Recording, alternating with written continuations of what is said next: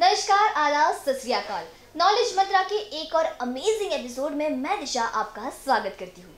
सोना हर किसी को पसंद होता है। कुछ लोगों को गोल्ड वाला सोना ज़्यादा अच्छा लगता है तो कुछ लोगों को नीम वाला सोना अच्छा लगता है। और अगर आपको लगता है कि आप सबसे ज़्यादा सोच सकते हैं तो मेरे हिसाब से शायद आप गलत हैं। क्योंकि हमारी दुनिया में एक देश ऐसा है जहाँ के लोग नींद के मामले में रामायण के कुंभकर्ण की बराबरी करने का प्रयास कर रहे हैं। अब क्या है पूरा मामला? आइए जानते हैं हमारे फैक्ट नंबर वन में।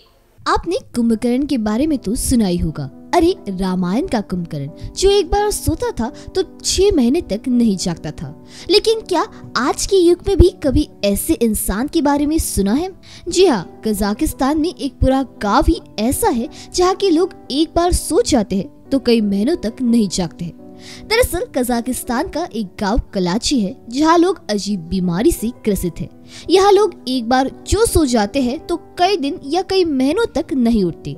इस गाँव में इस तरह सोने का पहला मामला 2010 में सामने आया था और तब से वैज्ञानिक और शोधकर्ता इस पर शोध कर रहे हैं। हालाँकि कुछ वैज्ञानिकों का कहना है कि इस गाँव के लोग एक अजीब बीमारी से ग्रसित है और इसी कारण ऐसा हो रहा है, लेकिन अभी तक इस बीमारी के बारे में पता नहीं लगा पाए है। इसके अलावा कुछ डॉक्टर्स का मानना है की ऐसा यहाँ की दूषित पानी की वजह से होता है।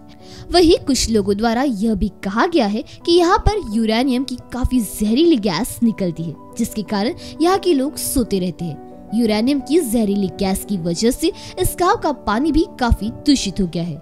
वैज्ञानिकों ने अपनी स्टडी में पाया कि यहाँ के पानी में कार्बन मोनोऑक्साइड गैस है, जिसकी वजह से यहाँ के लोग महीने तक सोते रहते हैं। इस बीमारी की सबसे ज़्यादा चौंकाने वाली बात तो यह है कि ऐसी बीमारी से ग्रसित लोगों को इस बात का एहसास ही नहीं होता कि वो कब और कहाँ सो गए इस बीमारी से ग्रसित लोग घर में हो या घर से बाहर, सड़क पर, गार्डन में या बाज़ार, कहीं भी अचानक सो जाते हैं इस गाँव में करीब 600 लोग रहते हैं, जिसमें से करीब 14 प्रतिशत लोग इस बीमारी से पीड़ित हैं।